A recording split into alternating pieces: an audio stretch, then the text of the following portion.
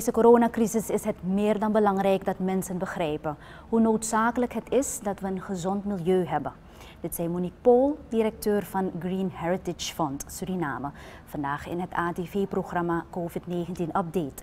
Ze haalt aan dat als het milieu niet gezond is, we vaker epidemieën en pandemieën zullen meemaken. Volgens Pool zijn bepaalde virussen direct gerelateerd aan milieuvervuiling. Het COVID-19-virus zou volgens haar ook te maken kunnen hebben met het niet goed omgaan met het milieu. Wat mensen nu helemaal vergeten zijn, omdat we zo druk zijn met COVID. Uh, er was begin van dit jaar een Dengue-uitbraak. Ja. Dengue en Zika zijn direct gerelateerd aan milieuvervuiling. Want die, die muskieten die vinden het zalig om in stukjes plastic wat, waar water in ligt, om daarin te broeden. Uh, het wordt warmer, de dieren gaan sneller voortplanten. Ja, voor je het weet is het dus- gedaan. Dus, dus COVID-19 zou eigenlijk ook een, het resultaat zijn omdat we zo slecht omgaan met ons milieu. Ja, dat, uh, dat, daar, daar, twijfel ik niet aan. Uh, daardoor zie je ook steeds meer uitbraken, epidemieën, ebola in Afrika, MERS en SARS in Azië, ehm, ja, Zika, Dengue uh, wereldwijd. Uh, dus er zijn, al deze zaken hebben te maken met milieudegradatie ook.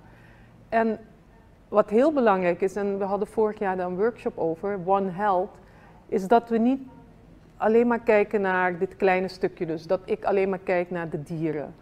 Um, en dat de, de mensen, artsen, die kijken alleen maar naar dat stukje.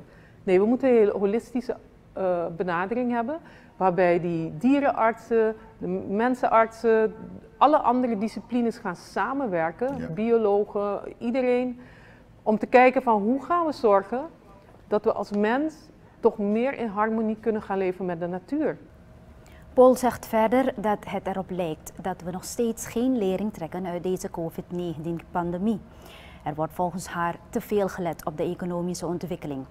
Ze vindt dat er nu andere mogelijkheden bekeken moeten worden hoe de wereld zich anders economisch kan ontwikkelen.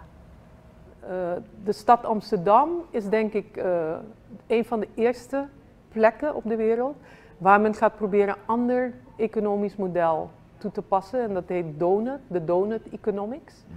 Door uh, Kate, een econoom, een Engelse econoom, Kate Raworth, die heeft dat ontwikkeld.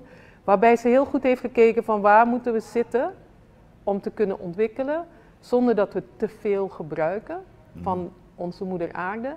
En waarbij alle menselijke behoeften ook worden vervuld. Mm. En Amsterdam die gaat dat uh, toepassen om nieuw beleid te maken. Mm. Ik denk dat we als Suriname dat ook moeten gaan doen. Wij hebben echt de kans om nog heel veel goed te doen, omdat onze natuur nog zo mooi en intact is. Monique Pool, directeur van de Green Heritage Fund Suriname. Zij sprak vanmorgen in het ATV-programma COVID-19 Update.